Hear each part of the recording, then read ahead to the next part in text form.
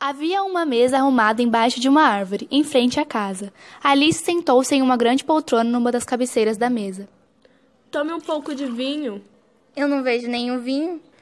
Não tem nenhum mesmo. Então não é muito educado da sua parte oferecer. E não é muito educado da sua parte sentar sem ser convidada. Eu não sabia que era sua mesa. Ela está arrumada para muito mais que três convidados. Seu cabelo está precisando ser cortado. Você deveria aprender a não fazer esse tipo de comentário pessoal. Isso é muito grosseiro. Por que um corvo se parece com uma escrivaninha? Legal, vamos ter diversão agora. Pensou Alice. Fico feliz que ele tenha começado a propor charadas. Acho que posso adivinhar essa. Completou em voz alta.